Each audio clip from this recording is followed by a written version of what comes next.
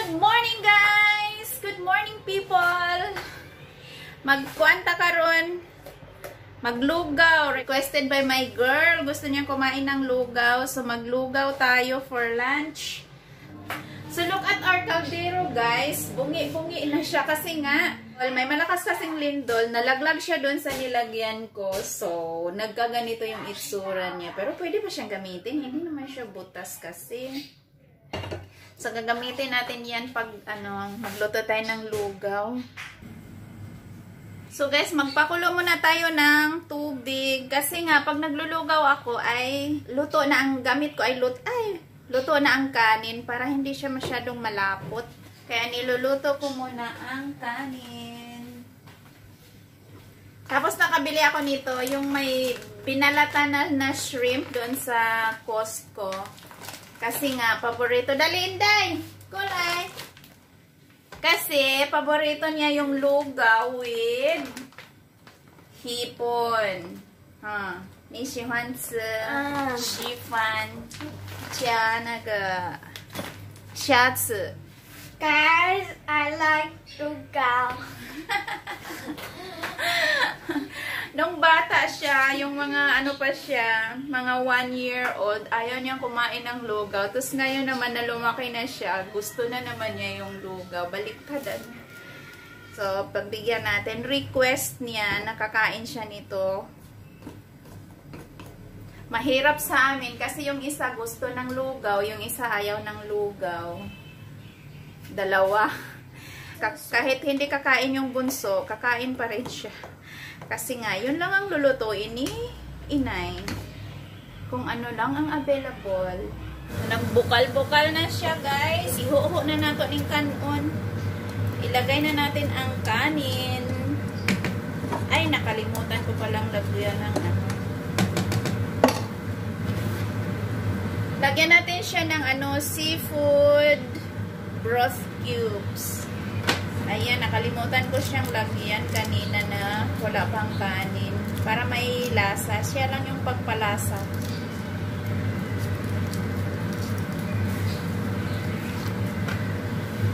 Dagdagan natin ng kalahati.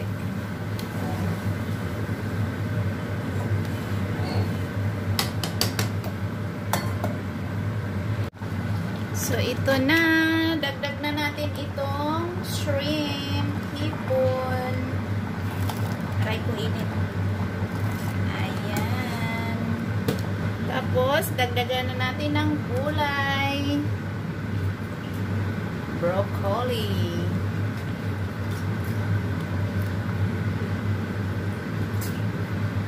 Ayan.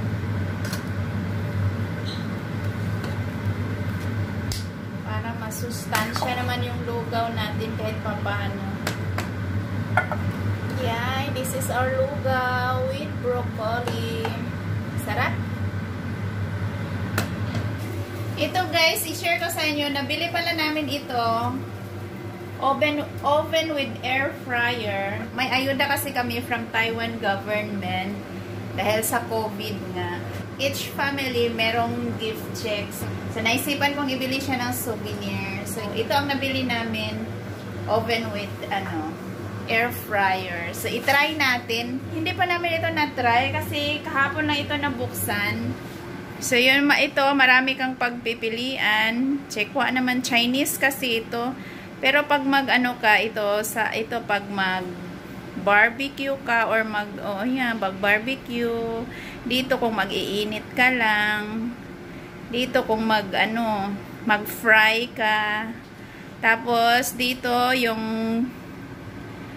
yung Celsius niya, kung gaano siya kainit. Tapos, dito is kung ilang seconds.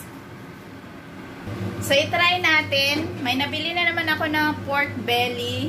Iinitin natin siya kasi nga medyo malamig na. Kanina pa akong dumating from Costco. So, itry natin kung anong ano. Kung mabango or masarap ba siya, lalong sumarap. Wow! Agoy, nagkalat ang aming kusina. So, mag-try tayo ng dalawang, dalawang peraso. So, ilagay natin dito. Iinitin natin siya. Ayan, dito tayo sa ah, dito na lang up and down. Ah, ayan. Ano ba sa English ito? Uy, ano pa? Hindi na ako marunong. Dito tayo sa 205 temper ah, ang kainit ang temperature. And then dito tayo sa try natin 15 seconds lang kasi luto na siya. So, wait natin mamaya. Ayan siya sa loob. At yan. So, I think okay na siya, guys. Buksan na lang natin, tapos tanggalin natin.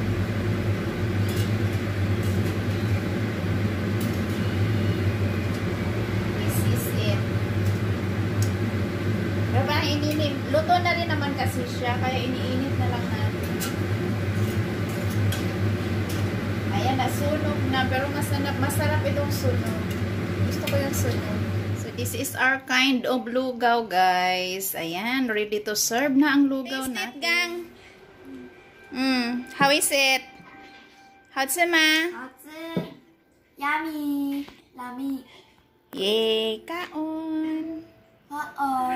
Ta. So guys, wala pa si tatay nila nandoon pa sa baba. So mauna na kaming kumain at nagutom na kami. Thanks for watching guys. bye bye. Please.